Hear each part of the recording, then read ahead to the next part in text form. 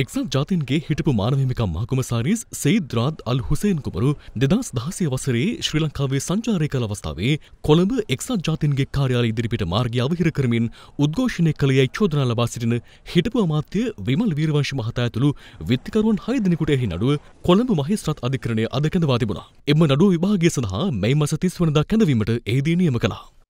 මේ තියෙන ආර්ථික අර්බුදය විදේශ විනිමය අර්බුදය ඒකත් එක්ක ඇතිවෙන තත්ත්වය ගැන අපි රටට කිව්වේ ආණ්ඩුවට කිව්වේ. ඉතින් අපිව අයින් කරලා ආණ්ඩුව හිතන්නේ නැති විදේශ විනිමය හරහා උපය ගන්න පුළුවන් කියලා. එහෙම උපය ගත්තා නම් ඉතින් මේ විදිහේ තත්ත්වයක් ඇති වෙන්නේ නැහැ. දැන් පස්වෙන් දැන් පස්සේ විදුලි බලය අත්හිටුවන්නේ නැහැ, කපන්නේ නැහැ කියලා කිව්වට දැන් අදත් කපන සැලැස්මක් එළියට දාලා තියෙනවා. ඊළඟට අද ගෑස් හිඟය දැන් තව උග්‍ර වෙමින් පවතිනවා. මේවා වෙන්නේ මේවා ගැන දීර්ඝකාලීනව හිතලා ගන්න ඕන තැන්වලදී තීරණ නොගෙන ඉන්න නිසා. ඒ කියන්නේ විශේෂයෙන්ම මුදල් අමාත්‍යවරයා මේකේ මේ අර්බුදය උස්සන්න බීම බලාපොරොත්තු වෙන කෙනෙක් නිසා. ඔහුට අවශ්‍ය මේ අර්බුදය උස්සන්න කරලා රට ඊටාම ව්‍යසනකාරී තත්වයකට ඇදවට්ටලා බටහිර උපාය මාර්ගයට අපේ රට ගොදුරු වීම සඳහා අවස්ථාව සලසලා දෙන්න. ඒක වටහාගෙන ඉන්න මිනිස්සු හැටියට ඒක දන්නේ නැහැ වගේ ඉන්න අපිට බෑ. ඒ නිසා තමයි අපි මේක රටට කිව්වේ. ගමදතුමා කියලා තිබුණා මේ මේ මේ අමාත්‍යවරු ඉන්ධන හිගයක් ඇති වෙනවා කියලා ව්‍යාජ පුවත් පළ කරපු ඉන්න කියපු නිසා තමයි මේ මේක උද්ගත වුනේ. අගමැතිතුමා කිව්වත් කවුරු කිව්වත් ඒක මහා මෝඩ ප්‍රකාශයක්. මට කනගාටුවෙන් වුණත් ඒක කියන්න වෙනවා. එහෙමනම් දැන් ඉදිරියේදී ඉන්ධන හිගේ 100%ක් නැති කරලා පෙන්වන්නකෝ. ඔය කියන විදියට.